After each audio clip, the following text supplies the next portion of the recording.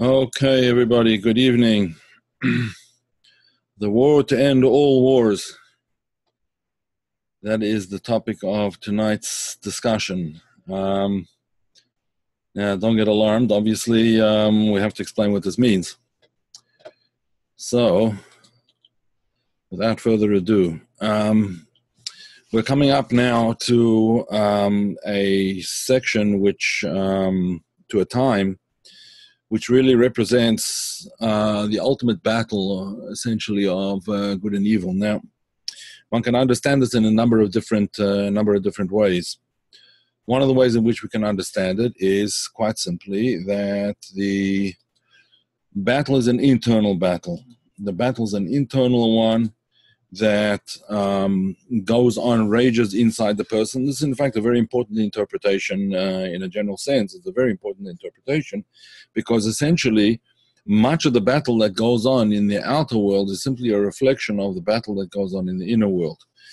Um, it is a basic Kabbalistic principle that a person is comprised of uh, really two parts essentially. One part is, uh, I suppose you could call the good angel, and the other one the bad angel, or the way we like to say it is the animal soul and the godly soul. And these are constantly in uh, a state of uh, disagreement and uh, can eventually come to a state of war, a state of battle. It doesn't have to come to that if one is a wise person and uh, follows the right advice. The inner conflict uh, can be conducted in such a way that it doesn't actually um, result in casualties because essentially the animal soul really wants to do uh, what, what, what, what it was created for, which is self preservation that's what the animal soul is all about self-preservation. If it can be shown a better way of preserving itself then it's quite simply um, in its best interests to follow that particular path. And in fact that is what can be done um, although it's not necessarily that easy to convince the animal soul that that's the way it is because the rest of the world around it is convincing the animal soul that that's um, it's got to fight for its um, for its place in the world and not be led around so to speak by the godly soul. There is actually um, i remember seeing once a series of woodcuts um, Chinese woodcuts. Uh, very interesting uh, pictures. Uh, it was called, I think, it was called the Ten Bulls. I think it was called something like that. The Ten Bulls. I showed a picture of a little boy and a bull. And at first, the uh, little boy is um, uh, at a distance from the bull, and they're two completely separate things. Then it shows him sort of coming closer, and the bull is getting very edgy and he's getting very, like, uh, sort of very nervous. But uh, eventually, in one of the pictures, you see the boy um, um, riding astride the bull, but the bull's not going and he won't go. Then in another frame, the bull's actually moving until eventually, uh, the last frame, you see only the boy and not the bull. The bull's gone. Now, that depicts, I don't know what the intention of, the artist was, but it sounds very much like the intention was to depict the struggle that there is between the godly soul represented by the boy and the animal soul represented by the bull. At first, they're uh, very wary of each other, but at a distance. Then they sort of come closer, and the bull is very nervous about the, and I'm sure the, uh, the little boy is nervous about the bull as well. Obviously, a huge you know bull that could just flatten him in no time at all. Um, but somehow, eventually, uh, the boy actually gets to ride the bull, and he's initially can't make the bull move, but eventually he does. He has a whip in his hand or something, whatever it is, or uh, or maybe a carrot at the end of a stick, kind of thing, and encourages the bull to move, and eventually the bull disappears. In other words, the um, the animal side of a person kind of disappears and it's no longer extant, it's no longer there. All of that is talking about um, a situation where the war is sort of an internal war until eventually that war is won. However, um, there is one particular war that really is not internal in the sense that it's not something that can be fought on an even playing field. It's not, it's not a war that can be fought on an even playing field. And this is where actually the um, the verse that we that I sort of showed briefly earlier uh, actually comes in. Let me explain what I mean. Okay, it says over here um, in Exodus 17, 16, let me just read the Hebrew first. God says to Moses, write it in a book as a reminder in a book, Yeshua and, and, and uh, recite it or place it in the ears of Joshua. Joshua was the one who succeeded, he was the uh, student of and then the successor of uh, Moses, Moshe Rabbeinu, that I will erase the memory of Amalek from under the heavens. In other words, I will, as I said over here, I will utterly destroy any trace of Amalek from under the heavens. And he said, This is Moses talking, and he said, For the hand of God is raised in oath by his throne that he will wage war on Amalek from generation to generation. So you see, this is a war that we don't fight. It's a war, in a sense, it's God's war. We have to um, be involved in it I'll explain what all this means shortly. We have to be involved in it. We can't uh, run away from it. But ultimately, it's God's war, in the sense that in the sense that I'll explain uh, shortly. In the sense I'll explain shortly. First of all, um, who was Amalek? What does Amalek represent? This this tribe. There was a certain tribe who lived in that uh, sort of in the region between. Um, the uh, the Sinai Desert. No, well, actually, yeah, the Sinai Desert and the land of Israel. He lived sort of towards, um, I guess you say, towards somewhat towards um, Saudi Arabia, and um, between there and Israel, somewhere we don't know exactly where the area is now that he lived, but uh, he was very very fierce, and he had some it was a very fierce tribe, descended from Esau actually, and um, they were they had a gripe. What was their gripe? The gripe was that why is anybody telling me what to do? That's essentially what what they what they were um, uh, complaining about. I'll do what I want, and I don't, have, I don't want anyone telling me what to do. In other words, there's no sense of accepting authority from above or from anybody else. They were unwilling to accept the authority of God, they were unwilling to accept the authority of man over them. They were, so to speak, independent um, and um, had no desire whatsoever to um, make peace with heaven and earth, so to speak.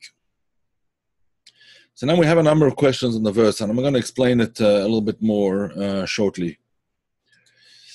Moses says, uh, God says to Moses, write this down as a reminder in the book and recite it in the ears of, of, of Joshua. Tell it to Joshua that because he was the one that had to fight Amalek initially, he was the one that had to fight this um, um, this this tribe, this nation. But we note that it says, "I will utterly destroy any trace of a Amalek from under the heavens. I will destroy the trace of a Amalek." You have to get rid of the main part. I will destroy the traces. And it says under the heavens. We have to understand why this is. Under the heavens.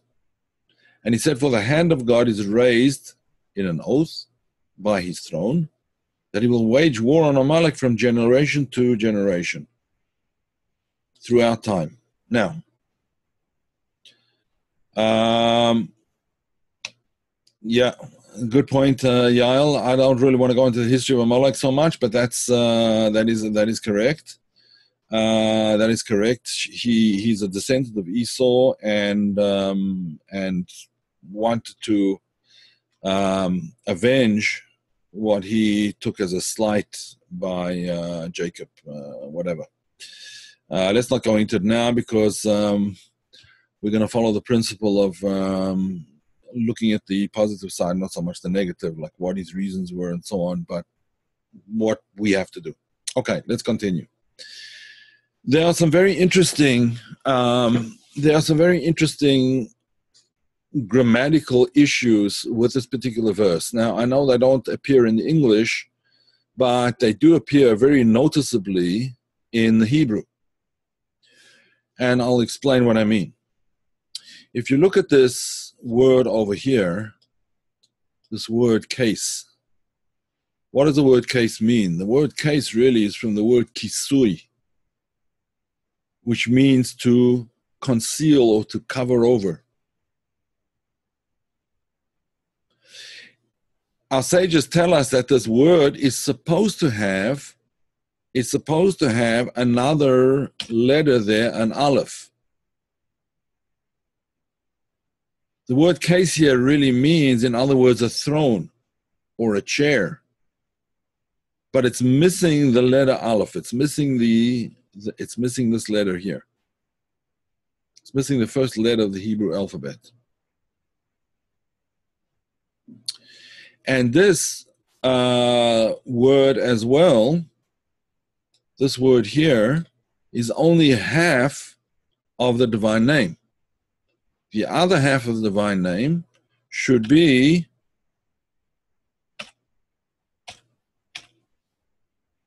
these letters here, the letter Vav and the letter Hey. It's missing these letters. So it's missing three letters, an Aleph and a Vav and a Hey. Now, what's the significance of um, this idea? Says the Midrash, the Midrash Tanhuma, says as follows. His name is not complete. Ein shmo shalem ve'ein kis'o shalem ad shmo shalom aleik. God's throne is not, his name is not complete and his throne is incomplete until the name or the memory of Amalek, there's various uh, versions of it, until the name of Amalek will be erased. His name, his name, God's name is not complete, and his throne is not whole, not complete, until the name of Amalek will be erased. Why? Because we see that the, the, the, words as they are written are missing certain letters. They're missing an aleph and a vav and a hey. They're missing those letters. So therefore the throne, the kisei, is incomplete, and the name is incomplete because it's missing those letters.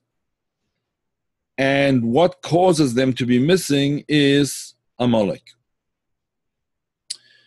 Now, another question on this verse. When it says, You shall destroy the memory of Amalek, you shall erase the memory of Amalek or the, um, yeah, the, the trace, any trace of Amalek, as I have it here. It says, From under the heavens. Now, what does that mean from under the heavens? What kind of um, what kind of message is this telling us here? It says from under the heavens. What's what's the meaning of that?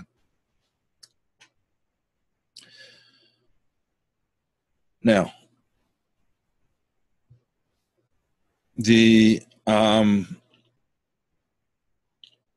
the missing letters over here, when we make up these missing letters, we make them into a word. We put them, we put them into a word. The word would be spelled as follows.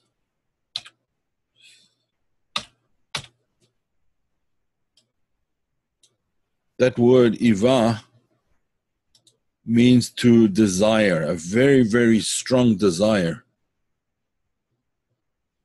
very powerful desire for something. It's called a ta'ava. A ta'ava is something, a desire that constantly returns and does not rest until it is fulfilled. It doesn't rest until it's fulfilled. So, if we take those letters, we look around, we see a verse.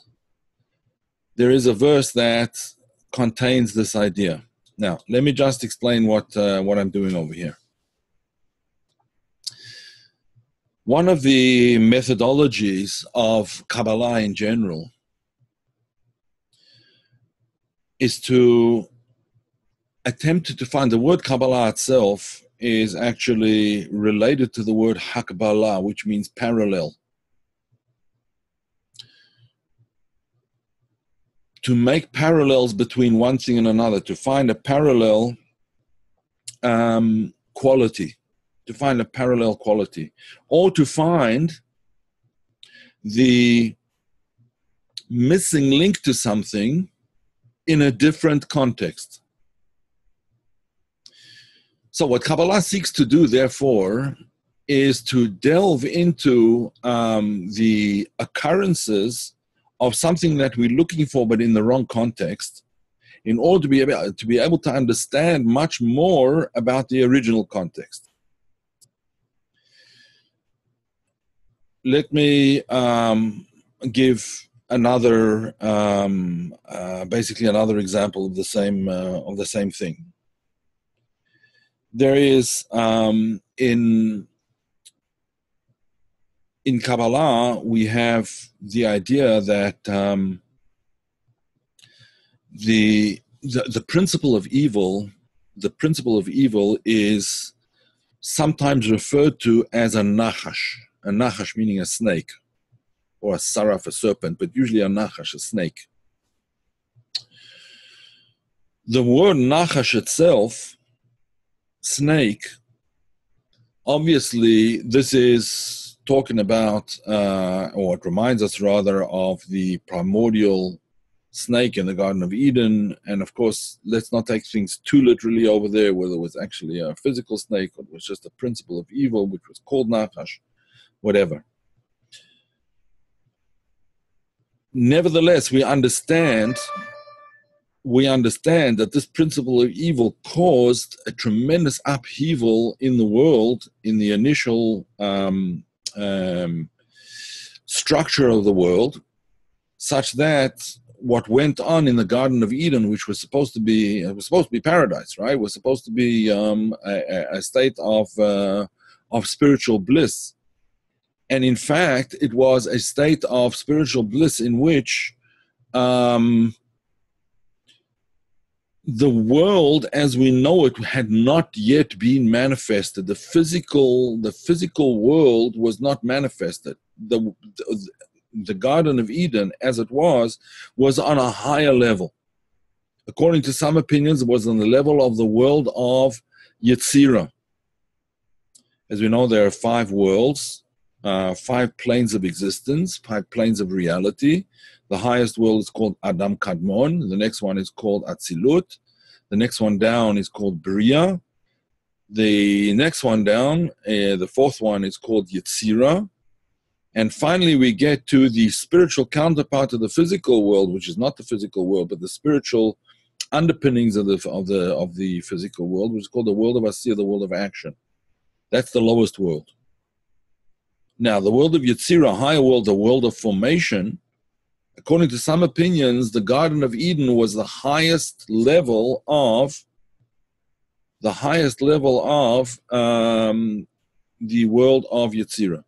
According to other opinions, it was even higher than that. It was in the world of Bria, a, a, a world which is which has not even yet been fully. It hasn't been formed yet. The world of formation is only one level down. This is a world where it's, so to speak, a world of light which has not yet been fully formed and clothed within vessels. It has its restrictions, it has its, um, um, um, how shall I say them, uh, um, limitations. It has certain limitations, but nevertheless, it's a, a very spiritual world. There are even some opinions that the world there was the world of uh, that Gan Eden was in the world of Atzilut, the highest manifested world. The world of Adam Kadmon is not manifested at all, which is a world essentially of light without vessels, the world of Atzilut. So, what happened with this whole upheaval, this principle of evil that somehow managed to overturn the spiritual dimensions of all the worlds, that um, had to later on be rectified.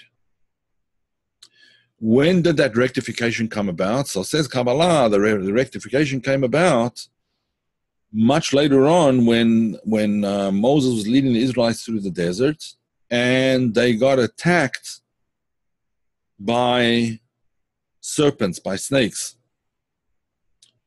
They were biting people and poisoning them and so on and so forth. Moses made a snake out of brass or copper uh, and he put it up on a staff. And when people looked at it, uh, it um, uh, they were they were cured. In other words, when they raised their eyes heavenward, they were cured.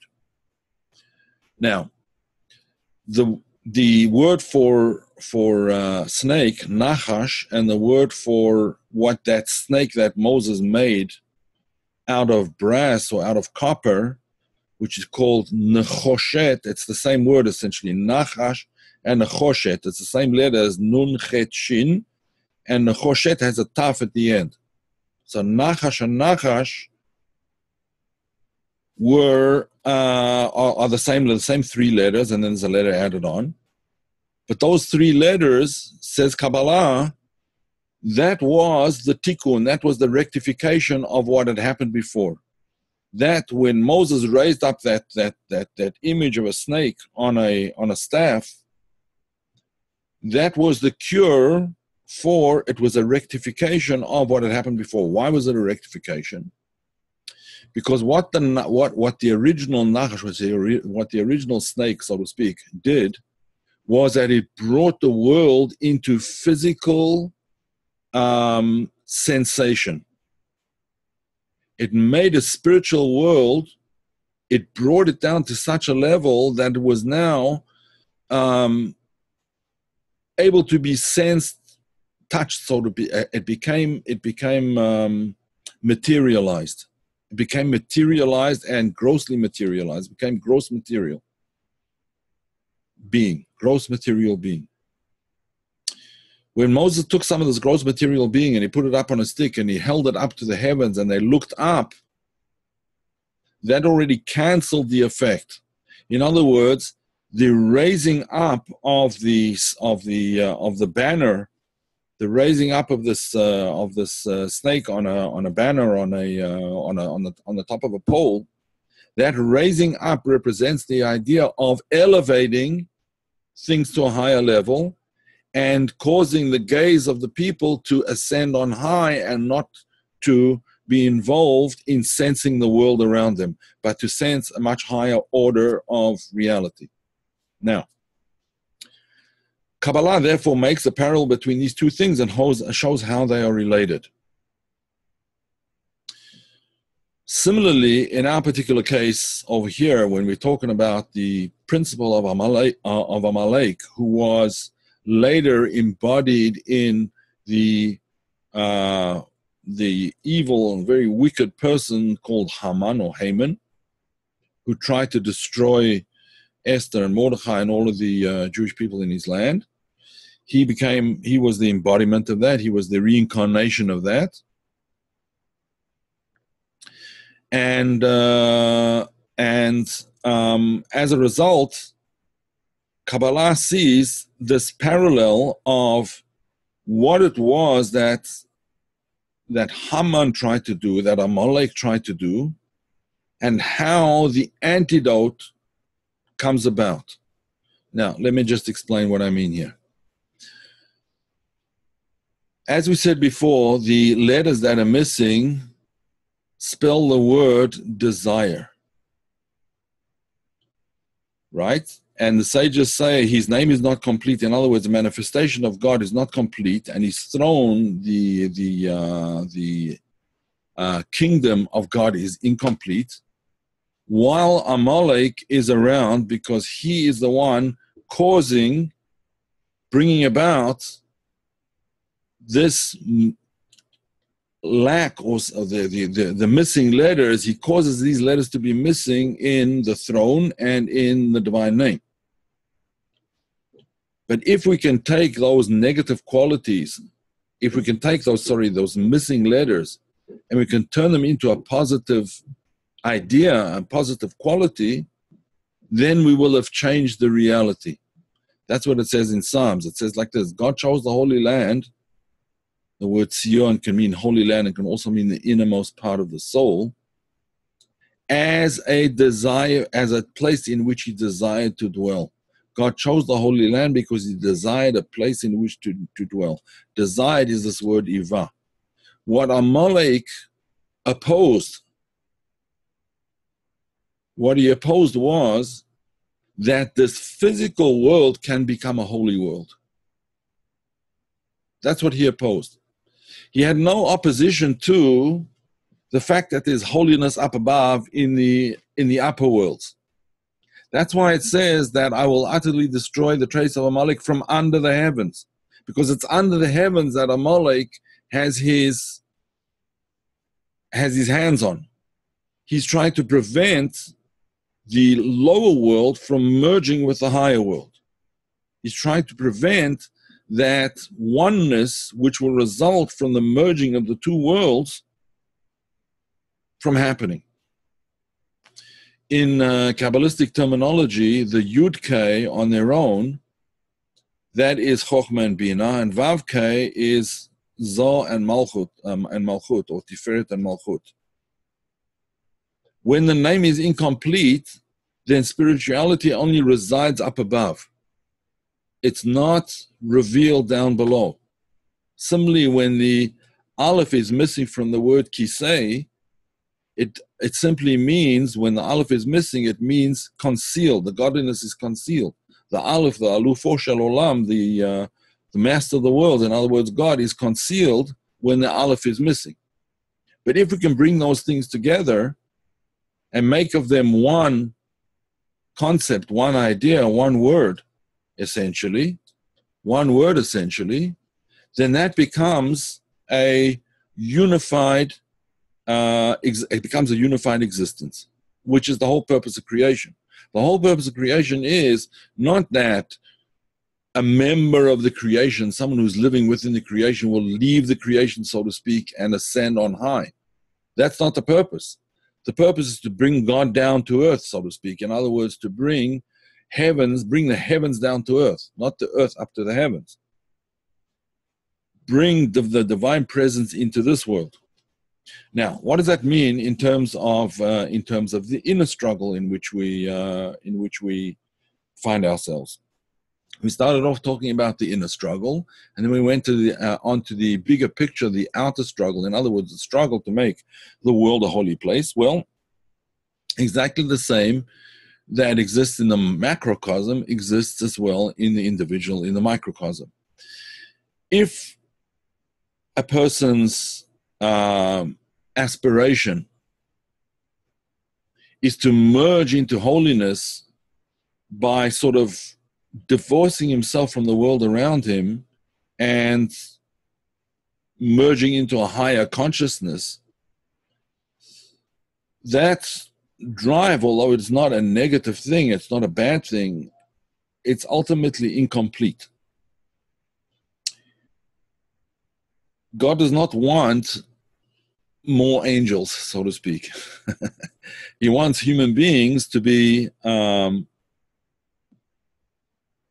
he wants human beings in this living in this world to be godly. That's what that's what's desired from us. Now, when we say he wants human beings to be godly, it doesn't mean that we should be walking around, uh, you know, like uh, with our feet uh, six inches off the ground and, and, and, and being practical. No, we have to be very practical, and it demands practical action. In other words, what we have to do is we have to sanctify, essentially, sanctify the vessels. Sanctify the life and the world and the, the, and the things that we come into contact with and things that we do on a daily basis on an everyday basis. And that is the ultimate um, fulfillment of the desire of uh, of the almighty. And then amalek will have disappeared. It'll have been wiped out. We can't go the entire way ourselves but what we have to do is we have to fight as much as we can. We have to preserve in our own lives that inner holiness that is innate within us and bring it into everything that we do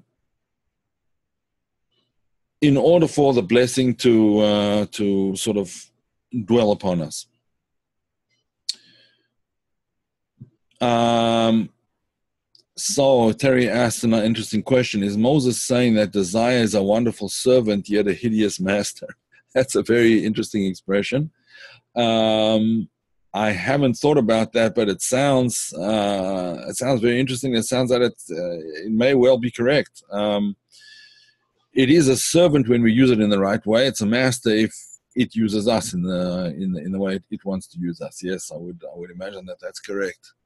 So Alan says as follows: Yosef over Hashem I am He who makes them right. I make peace and create evil. Do all these things. Does this refer to a process from uh, form versus create, make versus create? Seems like it applies to how it happened. And can it be applied to the lesson tonight? I'm not sure that I actually get the question, uh, Alan. If you could perhaps uh, ask me again privately, and um, you know, just send me an email, and I'll I'll try and figure it out uh, a little bit more. Could be. Uh, are there any questions, by the way?